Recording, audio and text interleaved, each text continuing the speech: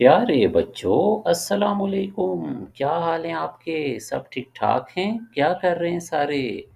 Doctor bubble, आज फिर आपके लिए मज़े मज़े की बातें लेके आए हैं। तो आज आपको बताएँगे कि आपने खेलना कैसे है। ठीक है ना? आपको पता है ना, अगर हर वक्त ही हम पढ़ते रहेंगे तो फिर तो हम बोर हो जाएँगे। तो कभी कभी खेलना भी चाहिए।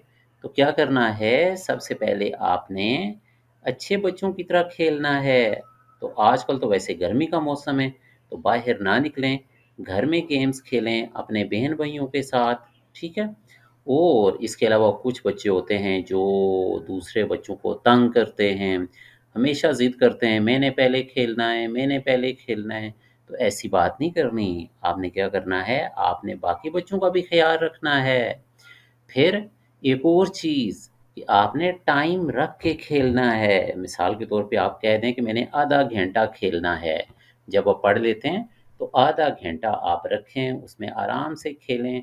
और आजकल तो बेहतर है, अगर मौसम बाहर बहुत ठंडा है या बहुत गर्मी है, फिर आप घर के अंदर ही बैठ के खेलें।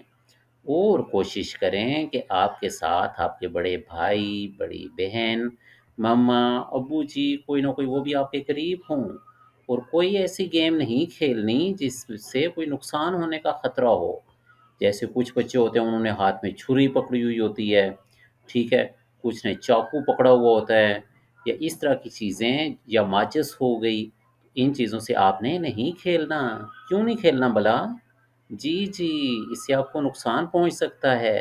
फिर आपको पता है ना फिर डॉक्टर के पास लेके जाएँगे, डॉक्टर इंजेक्शन लगाएँगे, खून निकलेगा, ठीक है? तो आपने इन सब बातों का ख़्याल रखना है। अल्लाह हाफ़िज़।